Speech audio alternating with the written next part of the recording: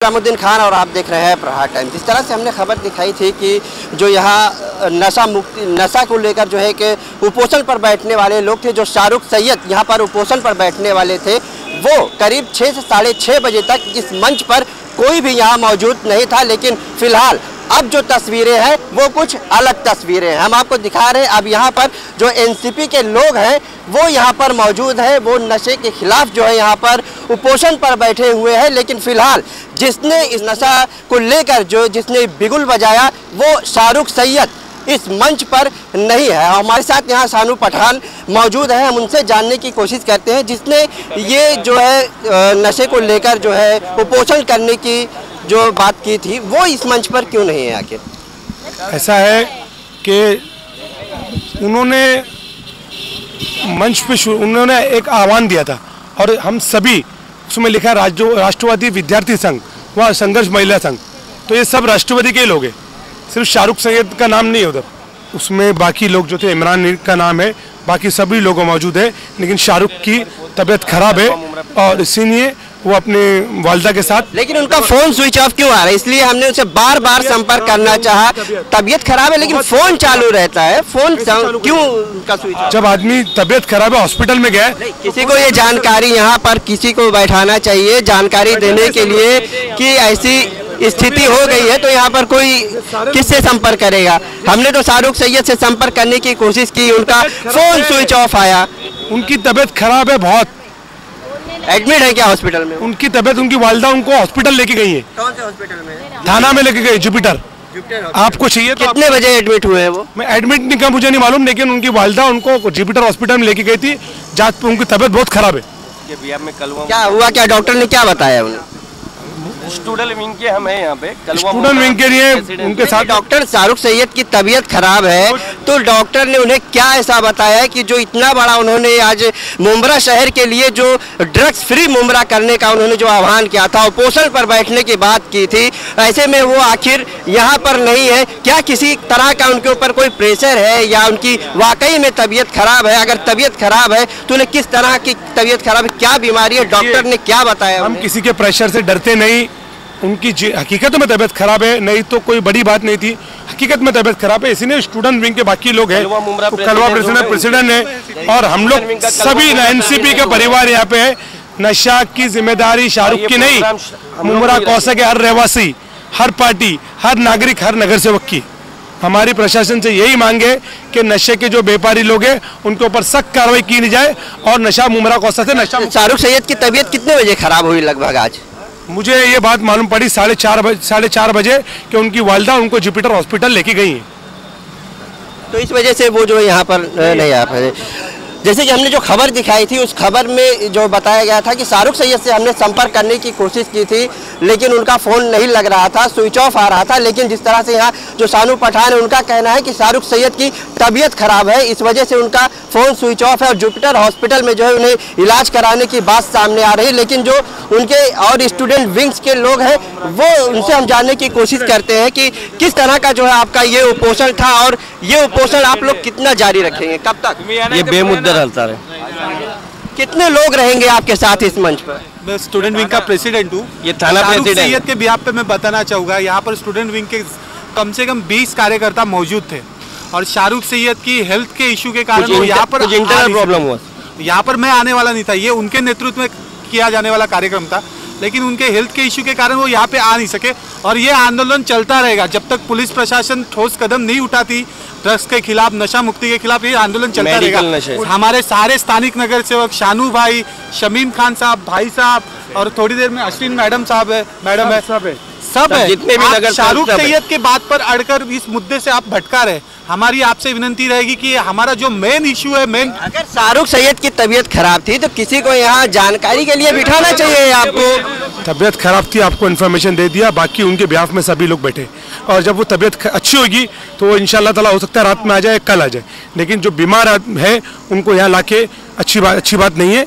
इसीलिए हमने उनको ये बात कहा कि पहले वो इलाज करा ले फिर यहाँ पे आए। तो फ़िलहाल नशे को लेकर जो है आपको शासन प्रशासन से क्या मांग है आपकी?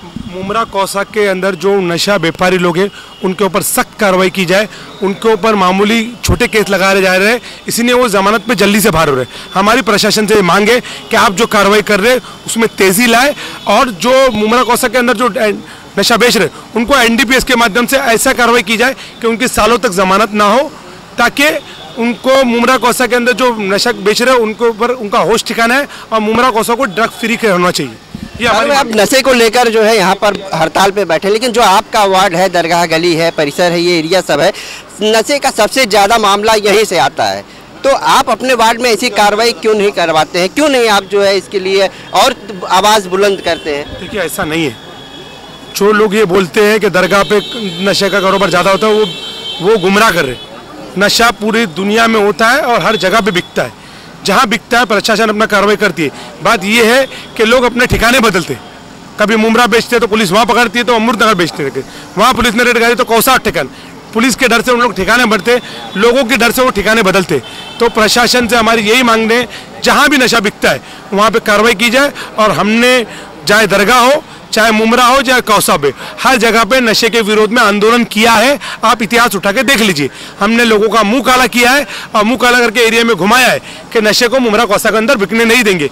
हमारी ये अभी शुरुआत हो चुकी है कि अगर मुमरा कौसा के अंदर नशा बेचने वाले नहीं सुधरे तो आने वाले वक्त में मुमरा कौसा के अंदर उनको मुँह काला करके घुमाया जाएगा। ये हमारे आपसे सामने, आपके सामने बोलना।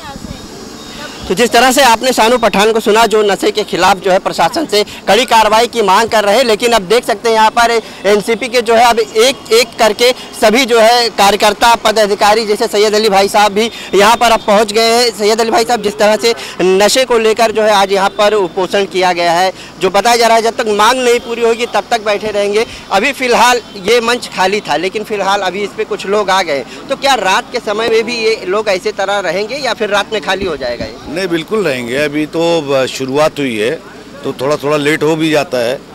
आंदोलन का मामला है तो अब धीरे धीरे ये बढ़ेगा।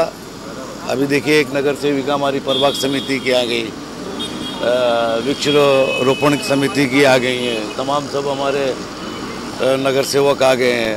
ये सारे यूथ के लोग आ गए मुफ्ती साहब आ गए मेरा महेश्वर भाई आ गए। अब धीरे धीरे बढ़ेगा। राष्ट्रवादी पास कार्यकर्ता की कमी नहीं है। ऐसा ये गलत वो है कि हमारा स्टेज खाली रहेगा। हमारे स्टेज पे तो इतने लोग रहते कि समझी में नहीं आता कि स्टेज किधर है। तो ऐसा आप लोग मत फैलाओ कि नहीं नहीं खाली था।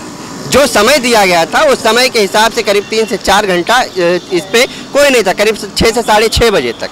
अरे हम इस देश के नागरिक है तो थोड़ा बहुत लेट लूट चलता है। इसमें क्या है?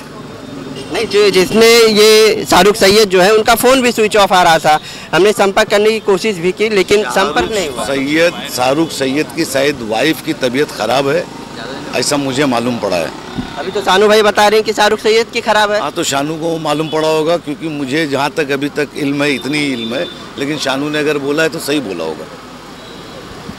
तो जिस तरह से आपने सुना कि जो सैयद अली भाई साहब जो है, उनका कहना है कि जो है शाहरुख सैयद की वाइफ की तबीयत खराब है और जहाँ सानू पठान का कहना है कि जो है शाहरुख सैयद की तबीयत खराब है, कहीं ना कहीं जो एनसीपी के लोग हैं, उनको खुद नहीं मालूम है वाकई में कि शाहरुख सैयद की तबीयत खराब है या शाहरुख सैयद की वाइफ की तबीयत खराब है। फ़िलहाल जो मुद्दा है इनका ड्रग्स का, इनका इन लोगों का तमाम कहना है कि जो मुद्दा ड्रग्स का है, वो ड्रग्स के मुद्दे पर जो है पूछा जाए। तो आप किस तरह से जो है कार्रवाई की मांग कर रहे हैं, जो ड्रग्स का मसला है, इस पर किस तरह से शासन प्रशासन की कार्रवाई की मांग कर ऐसा है कि ड्रग्स का मामला वाकई सीरियस है। ड्रग्स के लिए, एक मिनट एक मिनट ड्रग्स का मामला ऐसा है कि ये बहुत सीरियस मामला है। नौजवान बच्चे मर रहे हैं। नौजवान बच्चे कत्ल कर रहे हैं। नौजवान बच्चे लूट रहे घसोट रहे आज मर्डर इतना आम हो चुका है कि कभी भी कोई भी किसी को मार सकता है। क्योंकि नशे में उसको मालूम ही नहीं कि क्या है। तो इसके ऊपर पुलिस कड़क कार्रवाई करे, वैसे हमारे सीनियर साहब अच्छे आदमी हैं। केसेस बड़े बड़े उन्होंने किया है बड़े बड़े केसेस को सॉर्ट आउट किए, लेकिन एक बात यह है कि रोज़ जगह बदलते हैं। तो एक चीज़ पर्टिकुलर एक जगह पे बिक नहीं रही है, इसकी वजह से थोड़ा पुलिस को भी तकलीफ़ आ रही है। लेकिन मैं ये क्या नाम है ड्रग्स की जो, थाना की जो ब्रांच है, उसको मैं ये निवेदन करना चाहता हूँ कि आप लोग इसको आके देखिए। और ये माल कहाँ से आता है और सबसे बड़ी चीज़, मेडिकल स्टोर के ऊपर जो भी ड्रग्स बिकी जा रही है, या अपना जो नशे की गोलियाँ हैं सिरप है, ये सब चीज़ें भी बहुत तेज़ी से बिक रहा है। तो इसके ऊपर भी कार्रवाई करने की ज़रूरत है और मैं ऐसा मुमरा पुलिस स्टेशन के खिलाफ बात नहीं करूँगा, क्योंकि मुझे जहाँ तक इल्म है कि सीनियर साहब बहुत सीरियसली होकर काम करते हैं ड्रग्स के ऊपर। लेकिन इस पर और काम होना चाहिए, दूसरे हर ज़िम्मेदारी हम पुलिस के ऊपर भी नहीं दे सकते। इस शहर के हर शहरी की ज़िम्मेदारी है कि हमारे यहाँ गलत क्या हो रहा है, सही क्या हो रहा है, इस पर निगाह रखने की ज़रूरत है। हम मोहल्ले के अंदर अगर पाँच चर्सी लोग हैं तो हम उनकी कंप्लेंट करने के लिए डरते हैं कि वो मुझे मारेगा। ये चीज़ अगर बैठते रही दिल के अंदर तो कहीं ना कहीं नुकसान है। इसके लिए पूरे शहर को, पूरे लोगों को, पूरे सारे सियासी लोगों को, तंजीमों को मस्जिद के इमामों को सबको इसके खिलाफ बात करना पड़ेगा, एक माहौल खड़ा करना पड़ेगा तो इस चीज़ को हम रोक सकते हैं। किसी एक के ऊपर इल्ज़ाम डाल के कुछ होने वाला नहीं नशे के खिलाफ देखिए, जो हो रहा है, अभी हमारे भाई साहब ने बताया, शानू भाई ने बताया कि आए दिन हम लोग जो है मांग करते रहते हैं और हमारे पुलिस जो है वो भी कार्रवाई करते रहते हैं। लेकिन हर बार उनकी जगह बदली होना, करना, जिसकी वजह से आज जो हो रहा है तो यहाँ कहीं ना कहीं हमारे लोकल लोगों की भी ज़िम्मेदारी बनती है कि हम मोहल्ले वाइज जो हमारी पहले कमेटियाँ थी, वो एक्टिव हो जाए। और जिस तरीके से पहले सबने एक होकर नशा बंद करने की कोशिश की थी, क्योंकि पूरी तरीके से तो कहीं पे भी बंद होता नहीं। है ये तो हम भी जानते हैं, आप भी जानते हैं। लेकिन जो एकदम आम हो रहा है, उसको कहीं ना कहीं कम किया जाए, खत्म किया जाए, यही हम पुलिस से मांग करते हैं। तो जिस तरह से आपने सुना कि जो नशे के खिलाफ यहाँ लोग उपोषण पर बैठे हुए हैं, इनकी लगातार मांग है शासन प्रशासन से कि जो नशा बेचने वाले लोग हैं, उन पर कार्रवाई की जाए और जो शानू पठान थे, उन्होंने भी यही बात कही कि जो नशा करने वाले लोग हैं, उन पर कार्रवाई की जाए। जिस तरह से मुमरा शहर के जो नौजवान हैं, वो लगातार नशे की चपेट में आ रहे हैं और ये मुमरा शहर के लिए एक सबसे बड़ी चिंता की बात है। उसी को लेकर जो है, इस उपोषण पर जो है, यहाँ पर लोग बैठे हैं और ये जो उपोषण, बेमुद्दत उपोषण है, इनकी जब तक ये मांग, कहना है कि जब तक इनकी मांग शासन, प्रशासन मंजूर नहीं करती है, तब तक ये उपोषण जारी रहेगा। कैमरामैन रहमान के साथ इस्लामुद्दीन खान प्रहार टाइम्स मुमरा ताज़ा तरीन खबरों के लिए हमारे यूट्यूब चैनल को सब्सक्राइब करें और बेल आइकॉन दबाना ना भूलें। अगर आप फेसबुक पर देखते हैं तो हमारे पेज को लाइक करें।